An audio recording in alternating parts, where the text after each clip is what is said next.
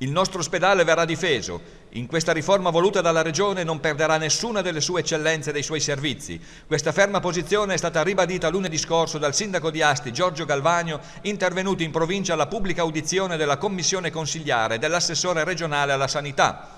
Un appuntamento importante che segna il cammino di una riforma passata sino ad oggi a suon di delibere di giunta, quella regionale si intende.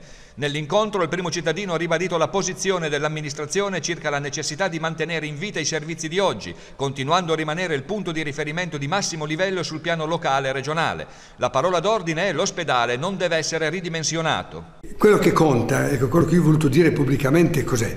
Che noi abbiamo un ospedale, un ospedale nuovo e bello, che abbiamo realizzato con le forze della città e dello Stato.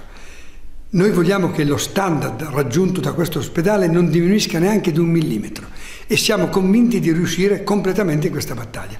Anzi, ho detto, noi abbiamo dei servizi come il pronto soccorso che vogliamo ancora potenziare, come è già stato fatto, e i servizi salvavita come quelli, per esempio, della cardiologia, e lì devono avere i livelli massimi.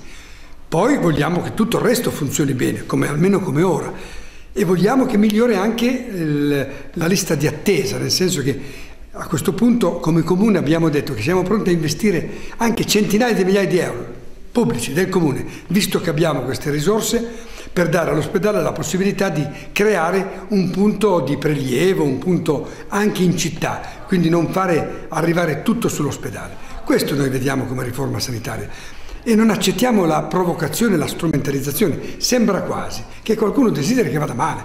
Vogliamo una rete che ci protegga tutti e su questo noi altri ci batteremo fino in fondo. Il sindaco poi mette in guardia i cittadini dai pericoli dell'uso strumentale che qualcuno sta facendo della questione sanitaria, atteggiamento questo che gioca sui sentimenti e sui bisogni della popolazione. Noi cerchiamo di affrontare i problemi reali con senso di responsabilità e senza bandiere.